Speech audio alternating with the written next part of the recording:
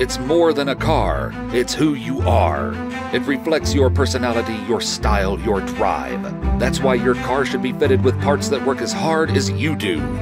Since 1982, Royal Exhaust has been raising the bar in vehicle performance.